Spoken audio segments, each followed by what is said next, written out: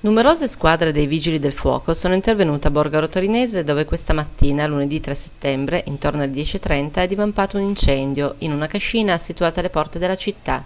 Sul posto stanno operando i Vigili del Fuoco di Torino, Nole, Volpiano, San Maurizio e Rivalta. Secondo le prime indiscrezioni trapelate, pare che ci siano delle coperture in Eternit, il che rende il rogo un rischio sia per i soccorsi che stanno operando sia per l'ambiente. L'incendio pare essere molto esteso. Non sono stati segnalati feriti o intossicati.